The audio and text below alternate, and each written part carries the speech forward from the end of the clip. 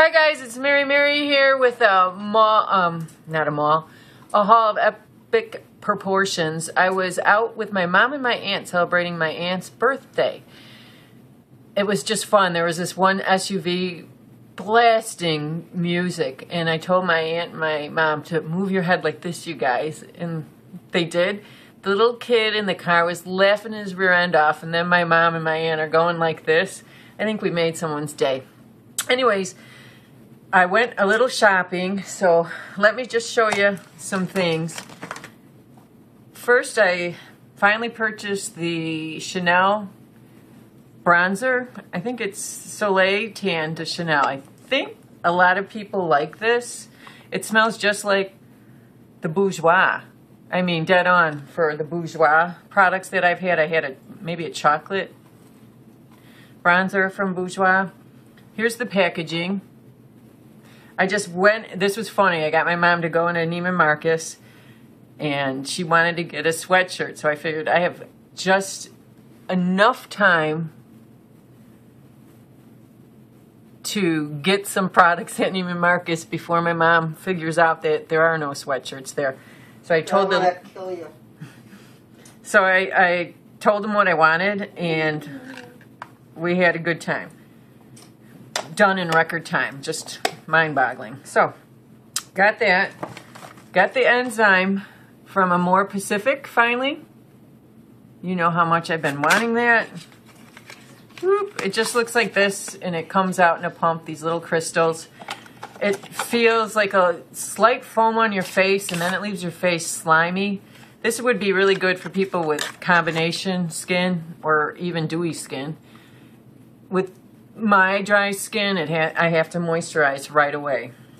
But it gets your face really clean. And then she hooked me up with a lot of La Mer samples, which I'm like, eh, I think they're very expensive products, and I'm happy with my CeraVe and whatnot. But eh, aren't these cute? So maybe this will get in the uh, giveaways, some of them. And what else did I get? The La Mer powder, finally. And believe it or not, all this stuff was less than, or yeah, comparable to what I've spent on drugstore last month. So I'm hoping that this this is it for a long time. I was thinking about it, and I have a plan of what the perfect makeup collection for me would consist of how many products and so on and so forth. So this is what the Mer looks like. This is a lot. This is a lot in here. And it's translucent. She said that this would probably work best for me. Comes with a little powder puff. And then you have this right here. Let's just see how this goes we can compare it to my e.l.f. High Def.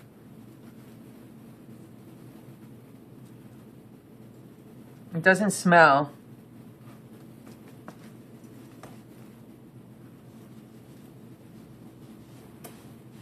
Yeah, I don't know what's to see. It's translucent. So that would be really interesting to compare this to my $3 e.l.f.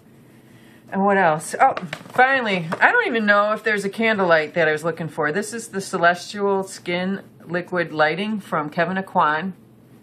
And this was like the one bad thing. There was, I just had one woman get all, everything for me. And the one who was in charge of Aucoin didn't know they had candlelight or there was only different powders there. So this fell off already from the bottom. Nice. And I just said, well, if it doesn't work out, I'll bring it back, right? And then, ah, it looks like it. It looks like the stuff, you guys. So I am an idiot. Drove them nuts, and I got the wrong name. This was, it lasts a year, and it's the Celestial Skin Liquid Lighting. And I don't even know if we can see that. or if that's where you're supposed to put it.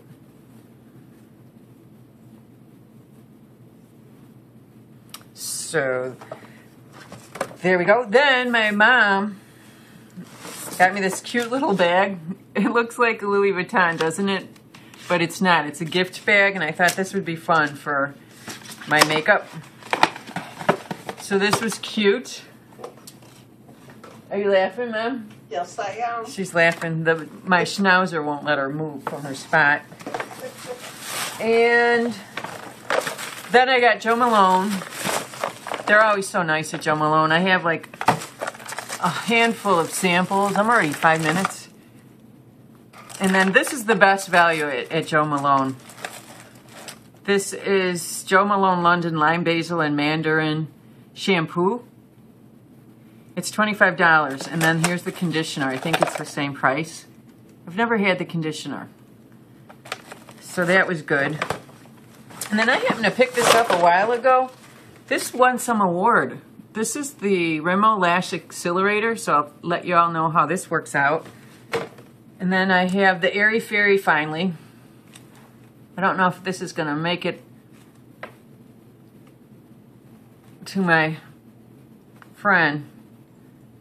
It is, it's really a pretty nude. It's 070 Airy Fairy. So this is like a big YouTube thing. And then I want to try like Janet did, putting eyelashes on, but um, not just yet. Okay, let's see if we can review the magazine. So here's Vogue. I I was surprised. I love the articles in Vanity Fair, but I loved the articles here, and I almost read them all. I approached this like a assignment. Let me go through. Let's see what I had earmarked here. I saw the I saw, well, here's the Louis Vuitton. She's like 60. That's Catherine Deneuve. I like that ad. It's just like 100 pages of ads. I like the Alexander McQueen, and, and usually I don't like that kind of tough look. But that was really a cool, cool article. What did I learn in here? There is um, a story on Lorde, and that song with the Royals on it she, she came up with that. If you read this article, she came up with it from opening a book or a magazine and seeing the Kansas City Royals.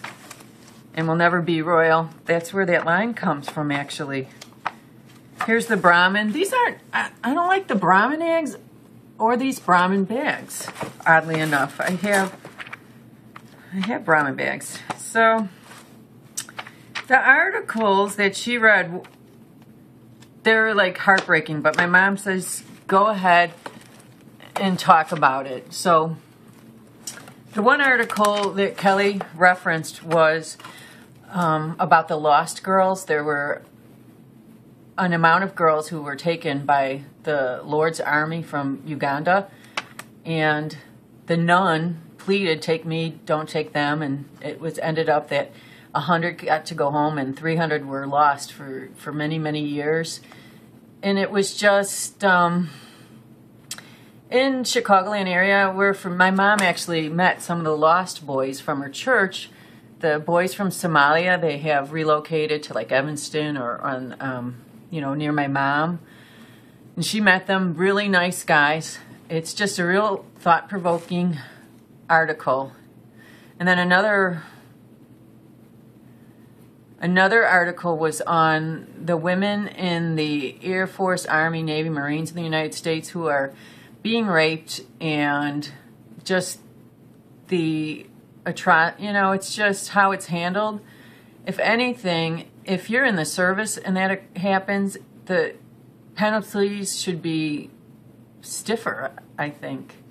I don't know. Um, so that was a very interesting article about how this one lone senator, well, actually, Paul Rand is is on her side. The senator is losing allies in this House and the Senate because of her stance, which would be my stance too. I think um, that should not be happening. And then what else could we say about this magazine? Here's Lorde's. Here's the article in Lorde. That was really interesting. There's an article I can't wait to see or read. It's about a woman from the West End of London who visited her friends on the East End and had so much fun. I didn't get a chance to read this, but wouldn't it be fun to read an article like this is about cupcakes and then to be able to go visit that area? This was maybe New York. I'm not sure. And then there is also an article in the magazine about the uh, a very famous Roca, I think, an Irish designer. That uh, it's just fun how she incorporates her growing up, her weddings, the baptisms, communions into her designs. Here's something that um, this is for Galaxy Tab, but the paper on it is incredible. And when I look at magazines and I see a paper like this, I try and use it as a wrapping paper. It never works, but I just love that. Or I would rip this out usually and then use it for a grocery list. Um, here's the article, the back page of the article on the Lost Girls. Well, I call them the Lost Girls because I'm familiar. Actually, in the Chicagoland area, a lot of Ugandans have relocated, and it's uh, ironic. One of the warlords, I mean, do you not think people are going to remember who you are? and uh, he's been turned in, and I don't think he's had he has such a good life now. I don't know if he's in our prison or in Uganda. I don't know. So, um, yeah, that's about it. I mean, beautiful ads. They even have ads for like Target though and Maybelline you know, very few. The rest are all high end. And I look at the clothes. I remember growing up thinking, that's high fashion. I, how do you wear that? Where would you wear that? And I've since learned now that um, this is sharp from my favorite store, Nordstrom's, that you just incorporate these looks in high fashion. Take an element that you like, an element of the styles. I love this. I love these coats. And I think the Canadian version is different because my Brahmin ad was in the back, not in the front. So, yeah. Um, what did I earmark? This is funny. This woman is Aerin Lauder. She is one of the most wealthy women in the world.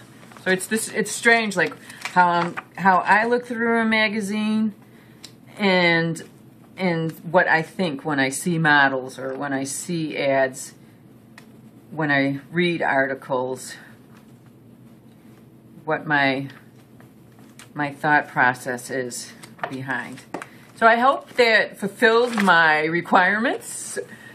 Thanks so much for asking me to do this. This is, and I always stumble before I say it because I don't want to say um, any of your names. But this is Kelly McKelly's channel. This was a request because I was so lazy. I asked her to review a Vogue because I like watching like um, Miss Cavalier 01 go through magazines or just so many people who go through magazines, um, which I can't recall right now. And um, so I did it. So please, if you have magazine subscriptions, feel free to read them um, on YouTube. I would enjoy it. I enjoy watching people stack their dishes in the dishwasher though to see how, you know, it's done. Have a great weekend, you guys.